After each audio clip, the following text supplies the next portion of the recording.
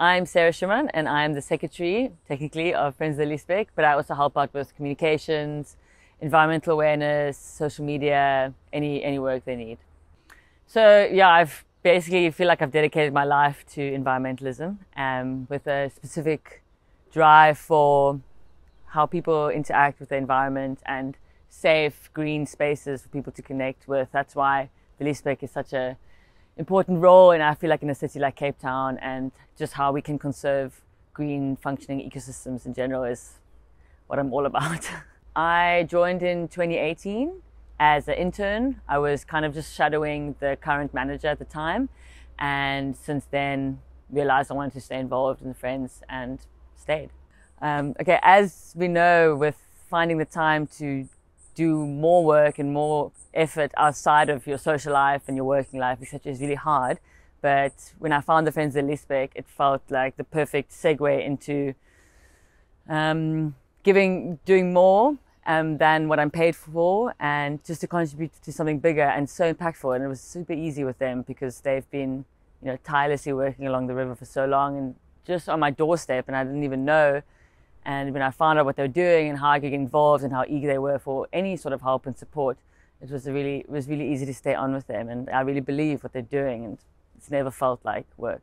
Yeah, I mean, if you think of the Liesbeek River, it runs from Kirstenbosch all the way down to Obs, and that's just consistently through neighborhoods. And kids and people are constantly walking along the river, playing in the river, interacting with the river. So I feel like the Friends of Liesbeek have never struggled to get support or like hands on the ground on, in during these events. Um, so that's why we can organize an event a week before, and there will be people engaged and people care about how the river looks and what they want from the river. So yeah, with this like useful injection into the committee, we've seen a lot more of these events and communication pieces and media pieces, and really just getting the word out there that we've been here the whole time for like three decades, um, and we, we need ongoing support. So the work that the Friends of the Liesbeek does to employ the maintenance team is completely dependent on donor funding, which is not secured every single year. This year we haven't been able to increase the salaries um, of the team, which is obviously just not okay. I mean, people's livelihoods are dependent on the success of the Friends of the Liesbeek, and the Liesbeek River is dependent on the success of the Friends of the Liesbeek.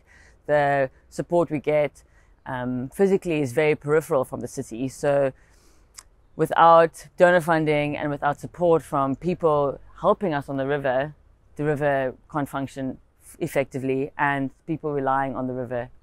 So we have a Facebook page, LinkedIn, Instagram, website. We are always having events along the river. We have a monthly cleanup um, that happens in Obs and any sort of support would be so helpful to the river's 11 kilometers long and it's constantly facing challenges. The health of the city is directly reflected in its rivers, and we need safe, clean, healthy urban waterways for a livable city. And we, we need all the support we can get, all the hands, any sort of do donations to, to keep that alive. The Friends of Liesbeek was a really great segue for me into my career. I finished my undergrad and then kind of started interning for them immediately and it was an awesome entry point into just like being in or being exposed to what functional ecosystems in urban contexts look like because I studied urban ecology as well. And just to see what people the role people play in these ecosystems. And from there you know getting that understanding of ecology I could move on to things like public speaking where I found myself speaking in front of the mayor not too long ago with the Friends of Liesbeek talking about the importance of biodiversity in cities um, I spoke to a group of school kids as well, and a lot of opportunity to be effective about your environmental communication and awareness. I think that's a huge um, output from, from my time with the Friends. So the Friends of the showed me, or gave me huge exposure to um, what it takes for a river to be functional and the role people play in that. And I'm really grateful to have been able to see that, to understand that, contribute to that.